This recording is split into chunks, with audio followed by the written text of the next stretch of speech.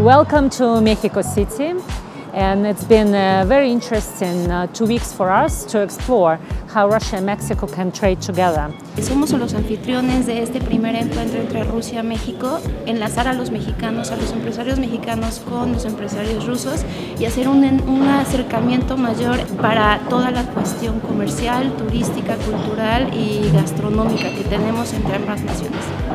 We found that Mexico has amazing food suppliers, uh, very interesting contemporary fashion, um, beautiful designers uh, for home interior and decor, furniture and even jewelry which can be easily sold to Russia once the talent is applied and a little bit of effort is made.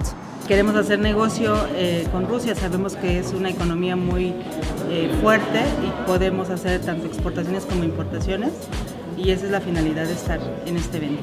Para mí es un orgullo representar a mi país, estar en este evento y más aún formar parte de buscar el cómo sí con nuestros amigos rusos podemos emprender y hacer cosas.